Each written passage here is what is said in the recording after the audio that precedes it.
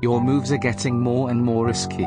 Do you know how extremely difficult it has become to get bloody tend up from that cesspool of an island, to back after that crazy Arlesdale Railway?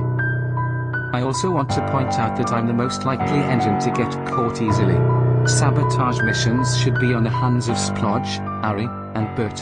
I know why you say that, mainly cause you live slash work at a very small railway with very little amount of vengeance.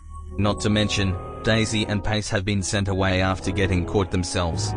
Still cannot believe they both got caught by the least expected.